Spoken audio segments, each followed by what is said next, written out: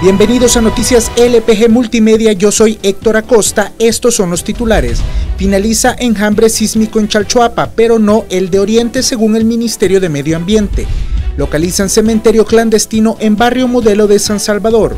Agente de la PNC asesina a su padre y luego se suicida. El Ministerio de Medio Ambiente informó que en las últimas 48 horas la sismicidad ha disminuido considerablemente al sur de Chalchuapa, departamento de Santa Ana.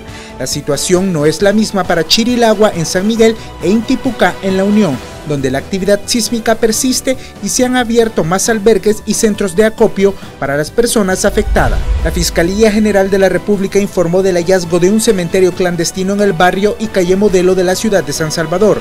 Se confirmó este viernes que al menos dos cadáveres fueron localizados y las primeras investigaciones apuntan a que miembros de una clica de la MS-13 son los que habrían asesinado a las personas enterradas en ese lugar.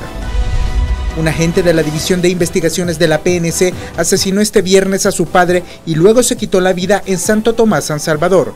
El hombre identificado como René Alas García de 43 años y su progenitor Leopoldo Alas de 73 años.